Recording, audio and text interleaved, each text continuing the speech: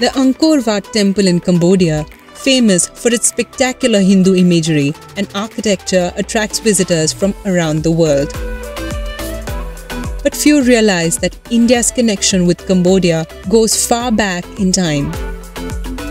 Even today, you can catch a glimpse of this shared history in Cambodia's art, architecture, dance, and cultural traditions.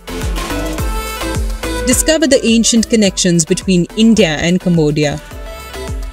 A journey across time, space, and cultural matters with Dr. Swati Chemburkar. Live only on LHI Circle. Subscribe now.